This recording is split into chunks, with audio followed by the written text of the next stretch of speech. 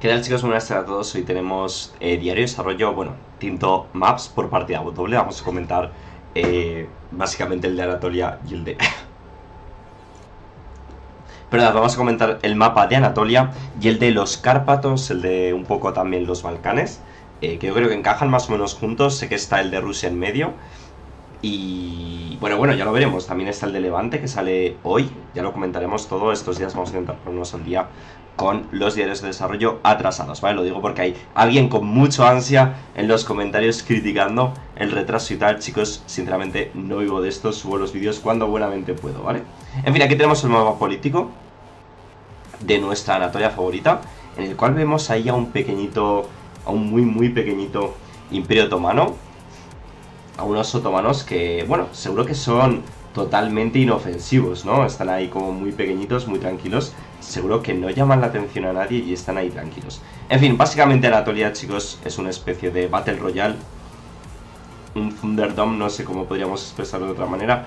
Un montonazo de países pequeñitos que seguramente casi todos sean eh, jugables. Bueno, obviamente todos son jugables, pero casi todos sean viables de, de jugar con ellos y quizá tratar de conquistar eh, hacerse con toda la península de, Anatolia. ¿no? Vemos, por supuesto, la presencia genovesa y bizantina.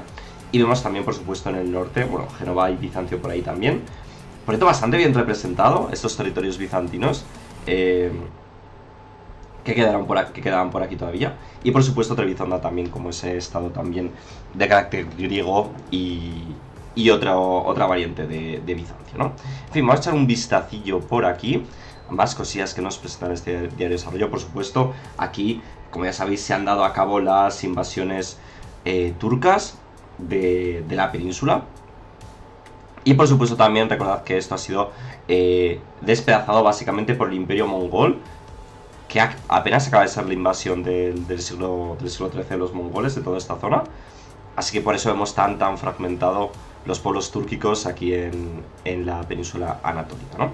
Aquí vemos a las distintas dinastías, por supuesto se ven los paleólogos Bizancio, ahora hablaremos un poco más de ellos, ¿no? Pero bueno, lo más interesante, por supuesto, los Osmanglu, en, bueno, Osmanogulari, no sé si son los Osmanglu, sinceramente, la dinastía de Kandar, la, de Karaman, y por supuesto Eredna, súper, súper importante, y la, y la dinastía con menos en, entre Bizonda aguantando ahí fuerte, ¿no? son un poco, yo creo, las dinastías más destacadas de esta, de esta región. No creo que. Eh, bueno, eh, no sé si hay alguna más conocida, sinceramente yo la verdad eh, la desconozco. Bueno, por supuesto, los ayubíes, ¿no? Aquí se me están olvidando, por supuesto, cómo se me pueden olvidar los ayubíes, esos descendientes de, de, de Saladino, que entre otras cosas es una facción jugable ahora en el, en el Age of Empires 4, ¿no? Si no me equivoco.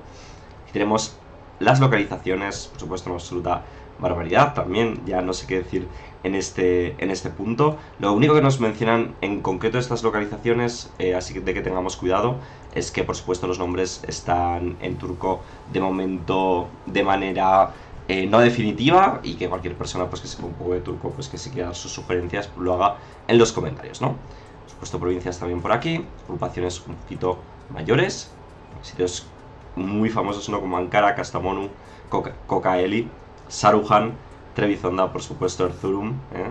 Konya, sitios que nos suenan tanto en nuestras campañas, eh, que tantas campañas hemos, hemos hecho en esta, en esta región, ¿no? ya sea como Bizancio, como los otomanos, Ayubíes, etc. Una región muy interesante también a nivel cultural, ahora lo veremos, aquí vemos por supuesto el clima, bastante frío, en el interior, recordad que es una zona muy muy montañosa, tenemos también clima continental y mediterráneo, las zonas más costeras.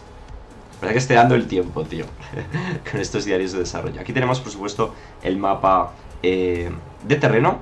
Y como digo, es una región que no es tan fácil de desarrollar, como ya conoceréis de todos los juegos previos de, de Paradox. Muy, muy montañosa, muchas colinas, muchas montañas, que obviamente para combatir está bien.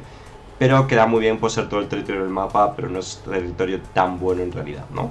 Las zonas llanas donde podamos desarrollar nuestros cultivos, por ejemplo, pues no son tan comunes tendremos pues que eh, quizá hacernos con otros territorios, ¿no? Si queremos eh, llegar a, grandes cuotas en este, en este juego, ¿no?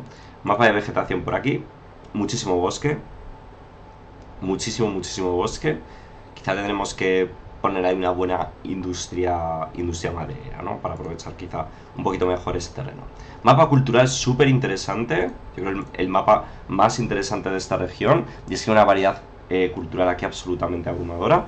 Tenemos por supuesto la gran presencia de griegos y turcos, como no puede ser de otra manera, que van a estar en claro conflicto eh, durante esta zona. Y recordad también que en Europa no seréis 5, al igual un poco que el Imperator. Vamos a tener que decidir un poquito sobre cómo queremos eh, gestionar el tema de las integraciones culturales, que no es tan profundo, no es tan importante en, en EU4. En EU5 sí que va a tener mucho más peso, así que esto va a ser bastante clave. Por supuesto tenemos los armenios por allí. Aquí en, en, Tracia, perdón, creo que son paulinianos, ¿vale? y ponticos y sirios, ¿no? Bueno, sirios no sé si lo he mencionado ya, pero bueno. Muy, muy interesante el, eh, la situación cultural. Turcomanos también quedan por ahí unos cuantos. Muy, muy interesante. Y vamos a tener que jugar con mucho cuidado con las culturas en esta, en esta región. Mapa cultural, pues aquí sí que tenemos un poquito más de variedad que en otros mapas que hemos visto hasta el momento. Vemos que tenemos eh, una clara presencia del Islam con los sunitas, pero también hay varias iglesias cristianas, en este caso los ortodoxos y los miafisitas, y los nestorianos que tienen también muchísima, muchísima presencia.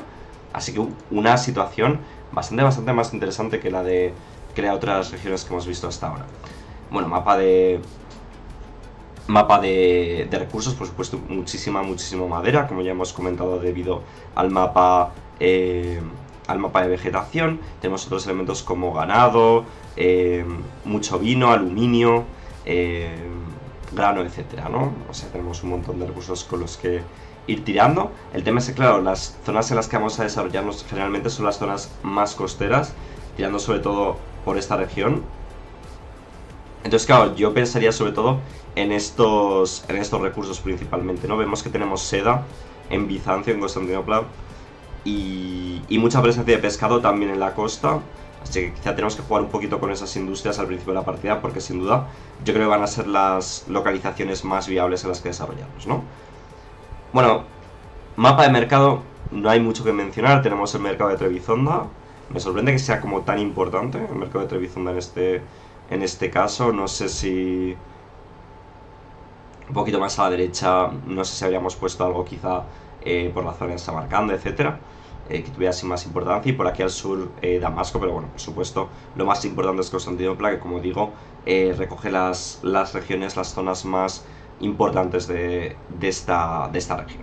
Finalmente aquí el mapa de población un poco, para que nos hagamos un poquito idea de cómo de potentes son estos países al principio de, de la partida, pues tenemos al Imperio Otomano con unos, unos 700.000 de población, los bizantinos quedan unos 1.200.000, entrevistando unos 300.000, los ayubíes apenas son 70.000 de población.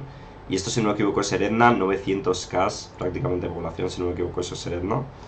Eh... Efectivamente, no Eredna es una locura. Lo poblado que está Eredna, posiblemente es el mejor país con el que empezar en esta región, ¿no? Lógicamente los otomanos yo entiendo que tendrán su contenido propio y Sí, yo creo que van a tener su contenido propio sin ningún tipo de dudas y elementos que lo diferencien ya que el Imperio Otomano sea más poderoso. Pero Erenda, desde luego, es el país de, de, lo que es Anatolia en sí sobre el papel, sin ver ningún otro tipo de, de, información. Si no supiéramos nada más del juego, claramente sería el país más poderoso solo por la población. ¿no? Aunque obviamente hemos de considerar que esta región, como hemos dicho ya, no es tan interesante, no es mucho más montañosa y con una vegetación mucho menos eh, importante. ¿no?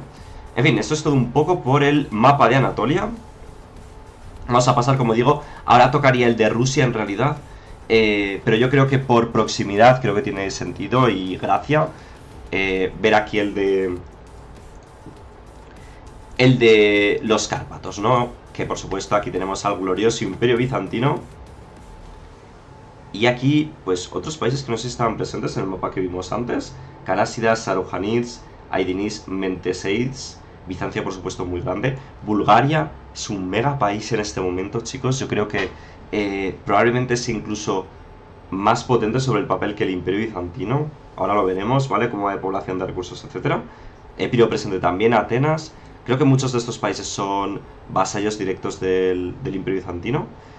Neopatria, que si no me equivoco, los aragoneses se van a hacer con este ducado también. Eh, Grande Aragón. Y bueno, por supuesto Nápoles, que ya vimos que era un pedazo de país en el mapa de Italia. Bosnia y por supuesto Hungría al norte y Valaquia, ¿no? Hungría mega tocho también. Mola un montón Hungría.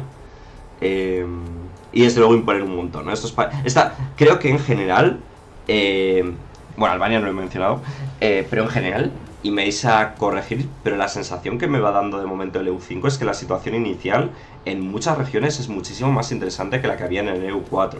Quizá en otras regiones, por ejemplo, ya veremos cuando lleguemos a la India, quizá no va a ser tan interesante como en el EU4 porque no está como tan balcanizada, pero en este caso pues vemos que esta región, que desde luego es de las más tranquilas de la historia del planeta Tierra, apenas hay racismo o conflictos religiosos, pues desde luego la situación es muchísimo más interesante que la que hay en el, en el EU4, ¿no? Y Bulgaria, os digo que es una absoluta barbaridad, probablemente es el momento más álgido de Bulgaria en toda su historia.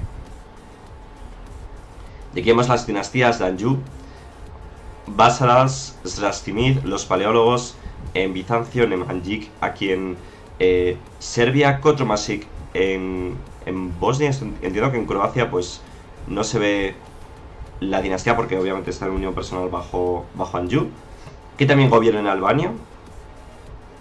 Los paleólogos efectivamente en la zona de Esparta. Efectivamente la casa de Aragón dominando Atenas y Neopatria.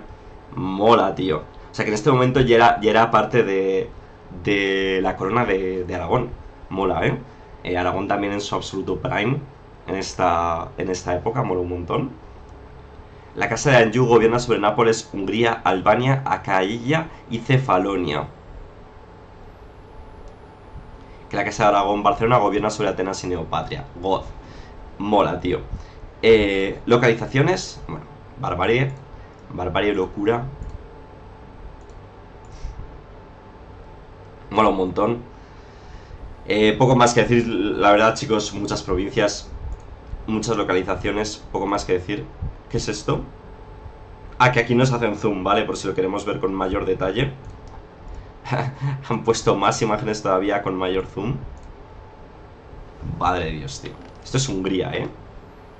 Qué locura. Hungría, Grecia. Qué exageración, tío. Y bueno. Eh, Chipre. Perdón, Chipre. Madre mía. Creta. ¿No? Eh, tiene menos localizaciones que el Imperator, ¿no? Realmente, juraría que el Imperator eran más. Aquí está bien, ¿no? Que sean tantas. Son 6, 8. Pero el Imperator era alguna más. De hecho, era la mejor isla para empezar. Era un poco en la Irlanda del Imperator Rome. Qué locura, tío. Mapa provincial.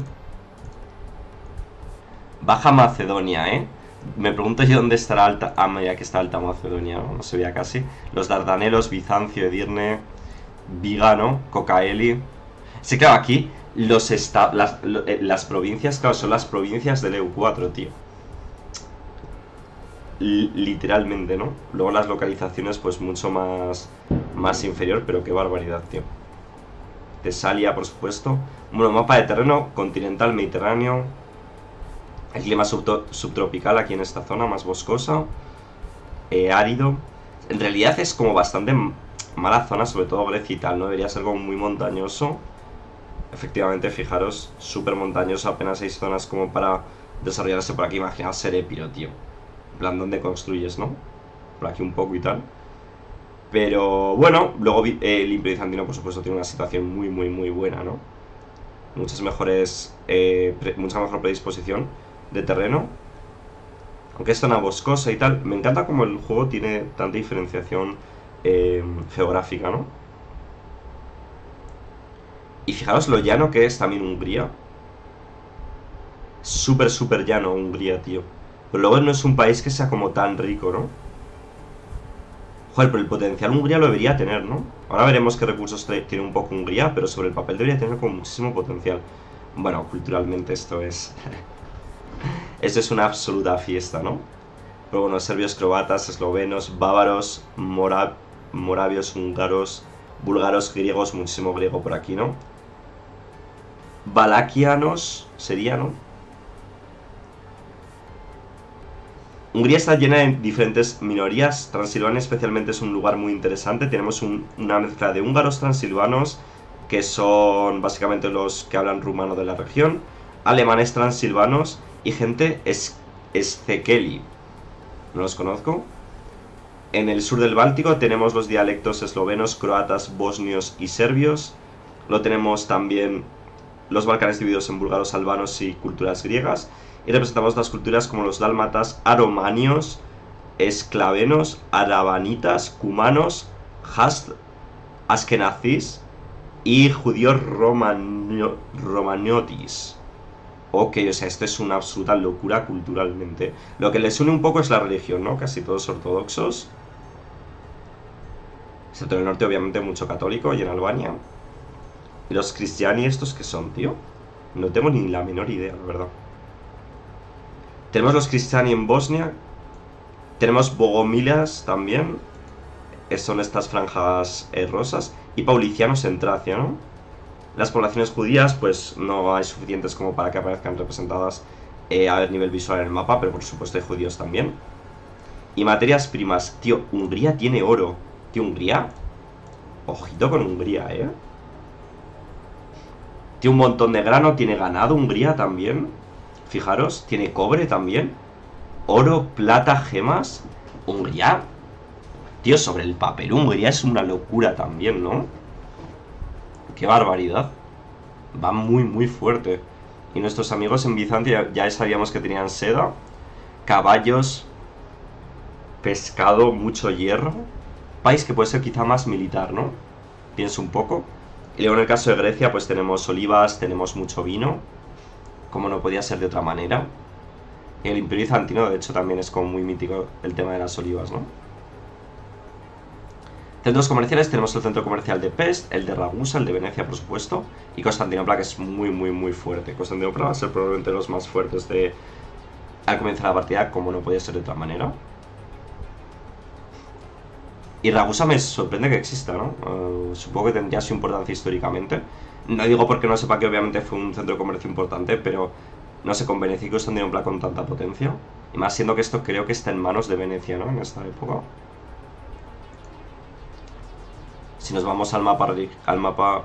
No, parece que es independiente, ¿no? O, vasallo de Venecia o algo, ¿no? Porque es de un color parecido. Sin duda alguna. Vale, escultura, religión... Aquí está el mercado. Y finalmente la población. Y vemos a Hungría con 3,7 millones. Chicos, Hungría creo que sobre el papel es mucho más fuerte que en el EU4, ¿eh? Un millón casi en, en Serbia y en, y en Bulgaria de población y ese comparado con el Imperio Bizantino que tiene 1.300.000. Qué loco, tío, qué locura Hungría. Es probablemente Hungría uno de los países más potentes de... del juego, tío. Al principio de la partida sobre el papel, ¿no? Qué salvaje, tío. 3 millones de... No sé, tío. Es como demasiado, ¿no? Aquí 150.000. Qué barbaridad, tío. No sé, es que tampoco están tan concentrados en realidad. Supongo que tienen cuenta Croacia. No, no tienen cuenta Croacia. En Croacia hay 100.000 de población. Tengo curiosidad porque ya que el juego no va a ser tan arcade como el EU4, que en el EU4 como que puedes hacer cosas irreales eh, debido a como cosas mecánicas del juego. En, este, en el caso del EU5, que va a ser más simulación, que la población va a tener tanta importancia, el hecho de empezar con tanta población va a ser importante. Hemos de recordar también que está a punto de aparecer aquí la peste negra. Y la peste negra, si no me equivoco, Europa Oriental la despedazó. No sé cómo importante sería en Hungría, pero sobre el papel, ostras. En teoría a los 10 años de empezar la partida está ya la peste negra. Pero wow, qué locura. Sí, eso sí, Bizancio está muy, muy fastidiado. Es que está en un sándwich aquí entre los Balcanes y, Anatolia, que le van a partir la cara, tío, pobre hombre. En fin, poco más que decir, chicos. Eh, nos queda pendiente el de Rusia y el del Levante, si no me equivoco, que lo suben hoy. Eh, y nos vemos en el próximo vídeo. Chao, chao.